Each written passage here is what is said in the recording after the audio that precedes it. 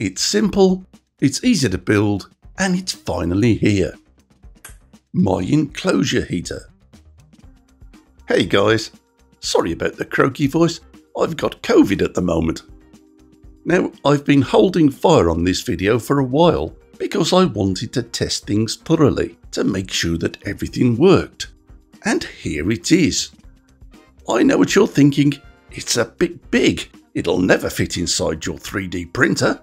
But with something as simple as a cardboard box, I got around that problem. But before we begin, let's have a quick recap. Why do we want an enclosure heater? What's the point? Well, most resins typically print best at an ambient temperature of 25 to 30 degrees Celsius, and for an awful lot of us, that doesn't happen consistently. Even Angus from Maker's Muse in sunny Australia noted that even temperatures there drop below ideal in the evenings, resulting in potential print problems. So, in a nutshell, if the temperature of our resin is correct, we can expect better printing results. As some of you will know, I've already featured a perfectly capable enclosure heater researched and put together by X3M Snake, which is excellent but many of you had trouble constructing it. There were a lot of wires that needed to be squeezed into a very small space, and some of you just couldn't manage. So my goal was something larger, something easier for us amateurs to put together. If possible, I wanted to make something more economical, something kinder to the environment and easier on the pocket. So I decided to go back to the drawing board and come at things from an old school perspective. The bulb in the box trick is nothing new. Bulbs generate heat, and in an enclosed area, this warms up quickly. The trick is to control this process and make it as safe as possible. Here you can see me conducting an initial test. There's a bulb, a heat sensor, a fan and a control unit. It's basic and it's simple, and in approximately 17 minutes, the temperature was raised from 19 to 25 degrees Celsius within a typical printer lid. What's happening is simple. Certain bulbs get hot when they're lit. In this case, I'm using a 25 watt GU10 mains powered halogen bulb.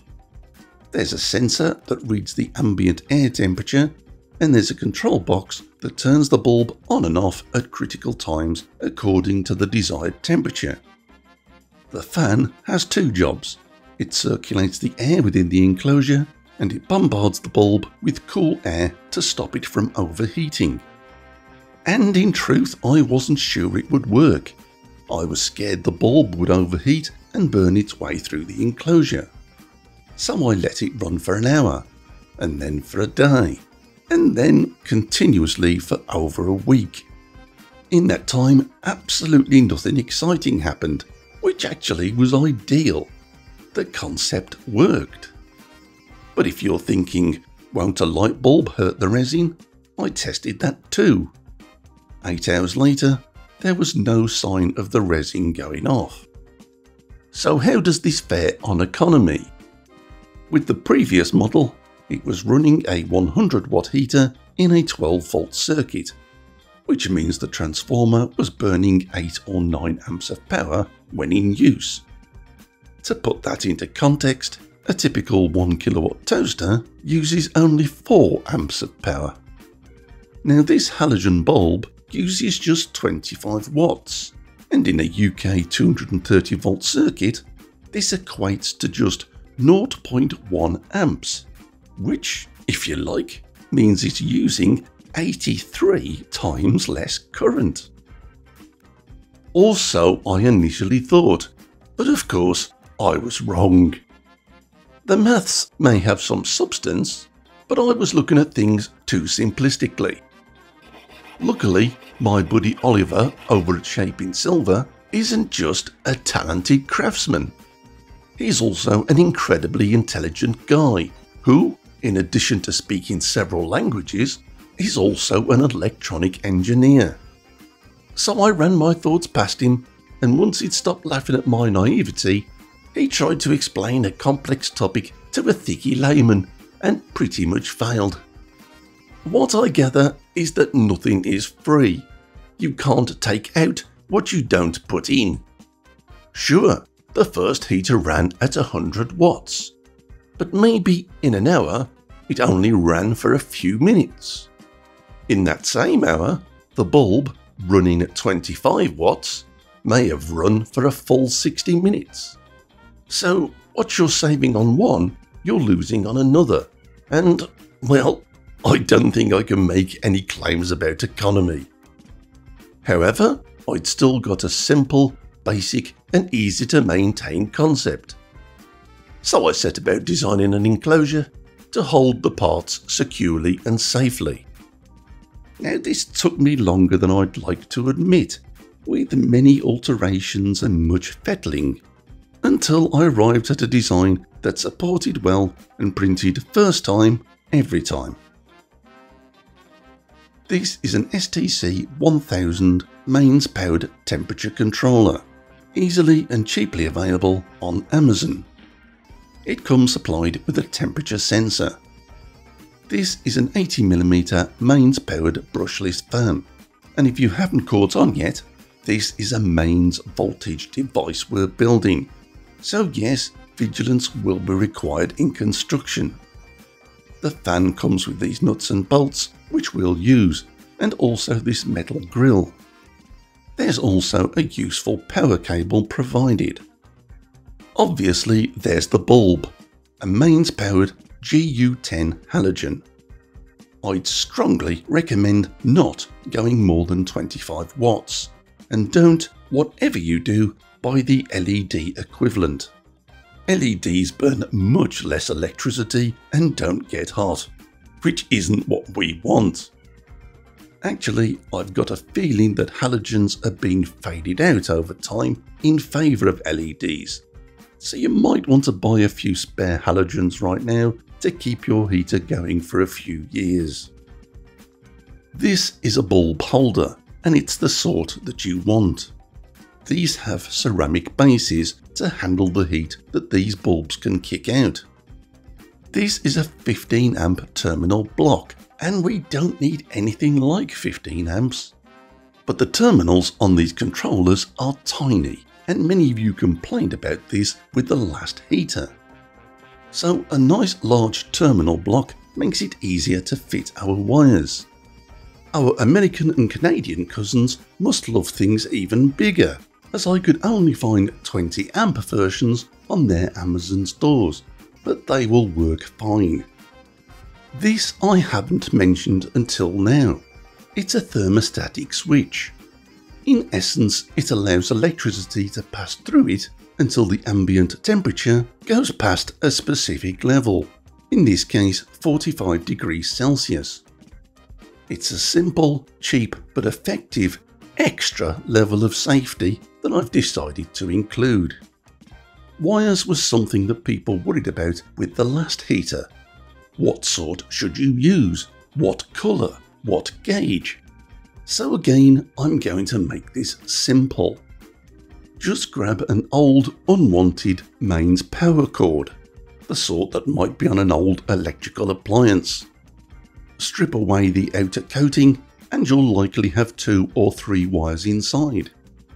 Here in the UK, these are typically blue, brown and green, though I have seen white and black and even red and black. And this bit is important. The colour really doesn't matter. The colour is just an outer sleeve that insulates strands of a conductive metal within. Now we need four wires, and it's generally not good practice to use an earth cable, despite everything that I've just said. However, using a little insulation tape, we can mark both ends of two more cables, giving us four differently identifiable wires. Just make sure that you know which wire is which. As for length, about 8 inches or 20 centimeters is fine, or so the internet tells me. You're also going to need some nuts, bolts and washers. In the description is a shopping list and I've recommended buying some kits that contain a variety of fixings, just for easy shopping. But here's the exact number and sizes of the fittings that I used if you want to shop more frugally. Do make sure that you stick with M4 sizes.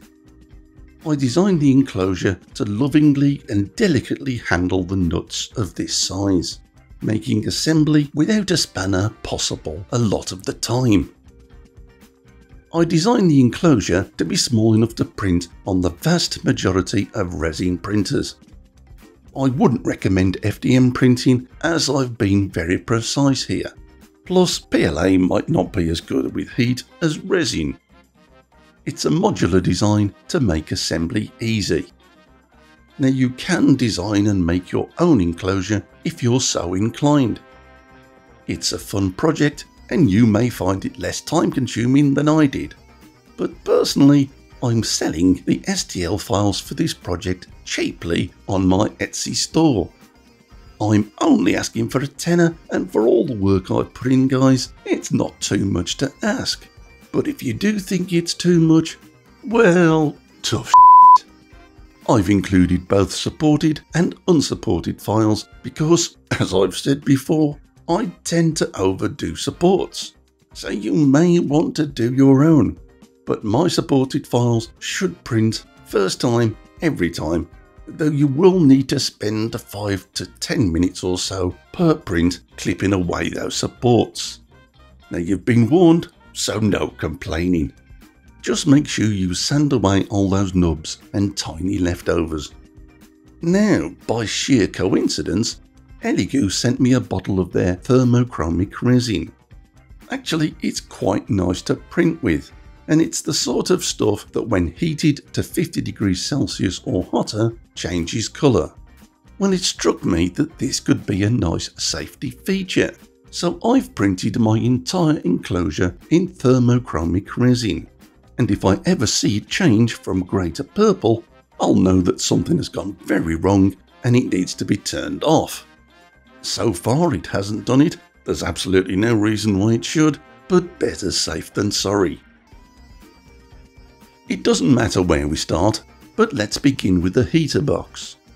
You can't miss it, it has a dirty big VOG on the front. The hole at the bottom is shaped perfectly to the bulb holder. Just align and push firmly. You'll feel it become snug. No glue or fixings are necessary. The fan has two black wires, as it doesn't matter which is which. But to make things easier for you guys, I suggest marking one with a bit of tape. There's a little arrow on the side of the fan which needs to point upwards, and take note of the orientation of everything here. There's a small hole in the fan box these wires should push through easily. Use the four nuts and bolts that came with the fan to secure it in place. Don't over tighten, it's only resin and can break. Now these nuts haven't come loose for me yet, but you may prefer to use locking nylon nuts. That's completely down to you. The heater box goes on top of the fan box. You'll see a hole at the back through which the cable from the heater box can pass. Oh, and again, the bulb holder has the same coloured wires, so I marked one with tape. This will all make sense soon. Use the M4 bolts to join the two modules together. The cable from the heater box is fed through the knobbly thing below, which is a technical term that I've just invented. The STC controller has these orange brackets which secure it. Just press and pull to remove these.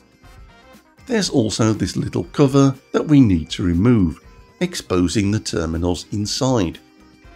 We need to do a bit of wiring before moving on, so let me do an obvious safety message. Electricity can harm and even kill you, especially mains voltage, so don't get it wrong. Make sure there's no power connected whilst you're building this device and proceed cautiously. Get professional help if you need it. You're doing this at your own risk guys, so please be careful.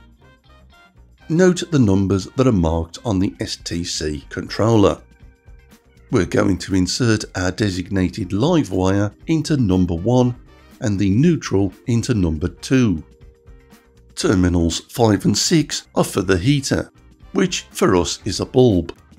So I've made use of my marked wires here. Terminals 3 and 4 are for the probe, the temperature sensor. Both wires are black, so I've marked one with tape.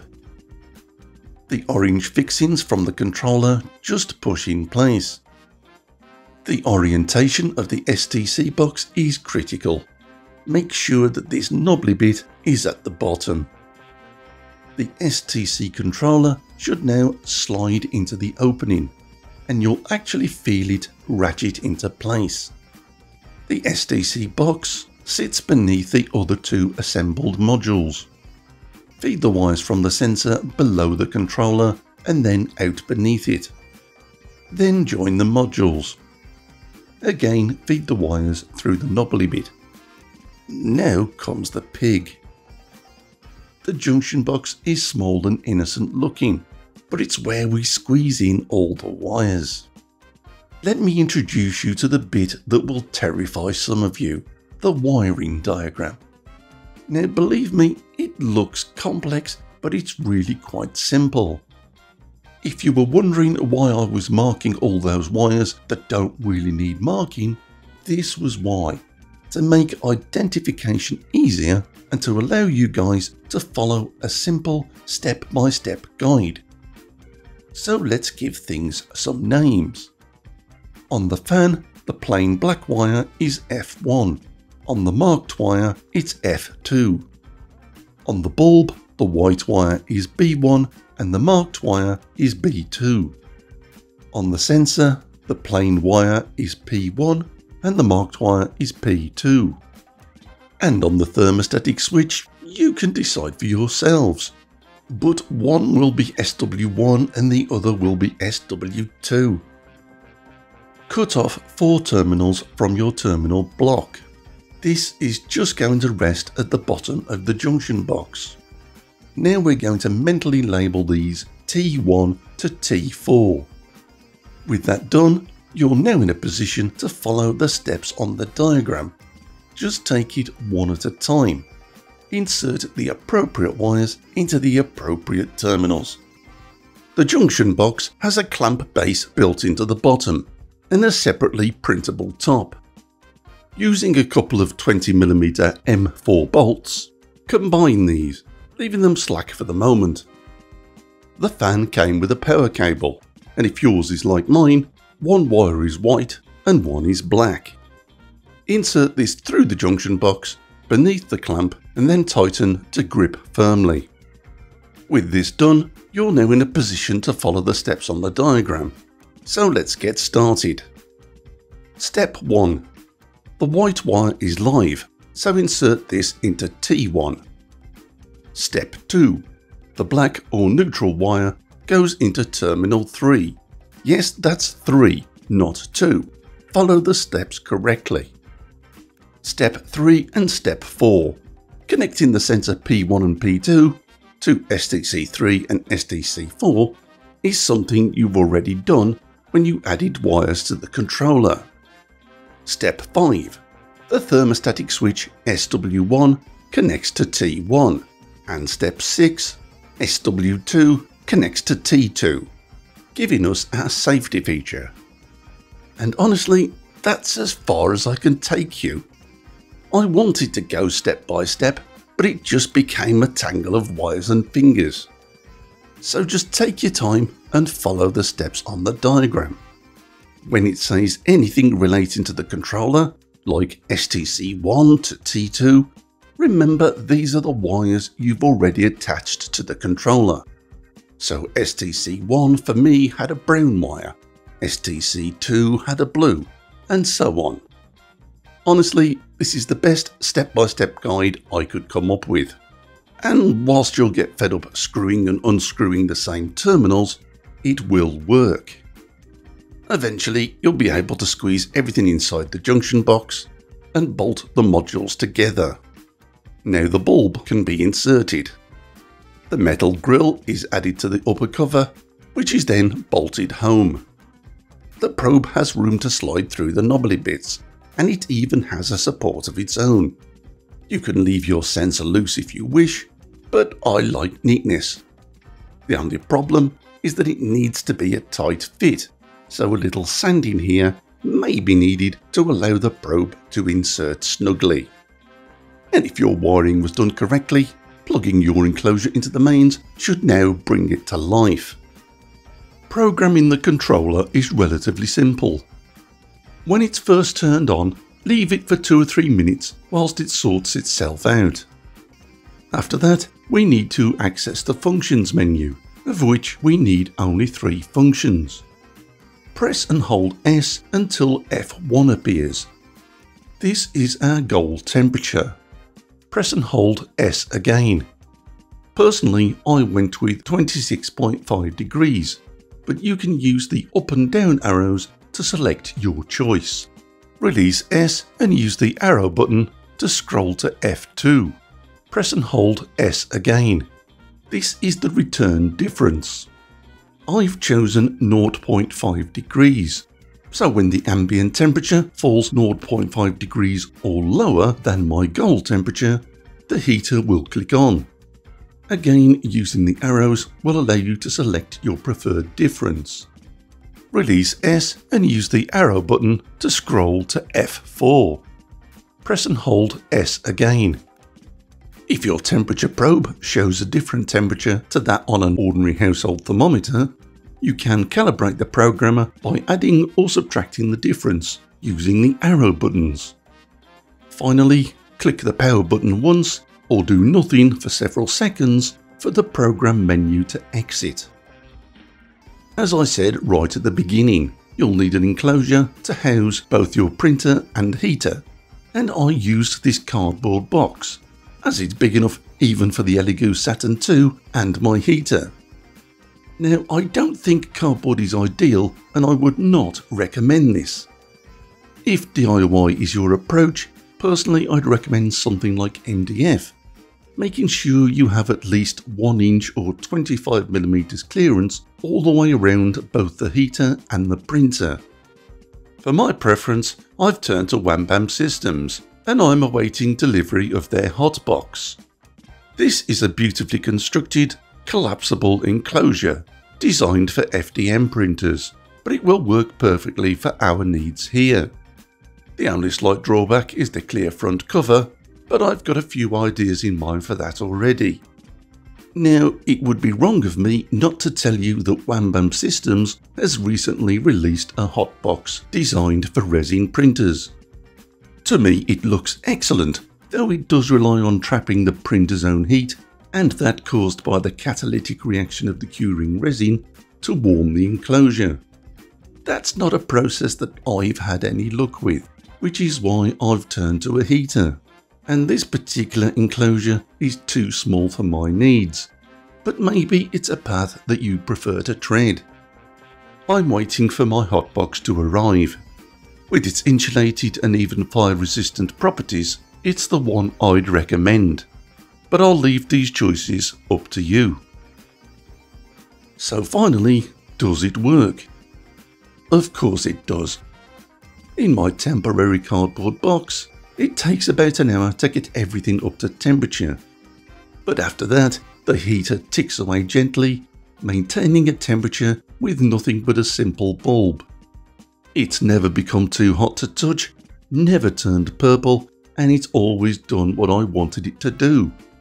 Even though these bulbs live for a few thousand hours of use, replacing them is cheap and easy, so I'm looking forward to many hours of temperate printing. So that's it for this one guys. Look in the video description for links to diagram downloads and suggested parts lists. Follow the guidelines safely and you'll have a warm and cosy printer of your own. If you have any questions, as always, feel free to drop me a line. So take care guys, and thanks for watching.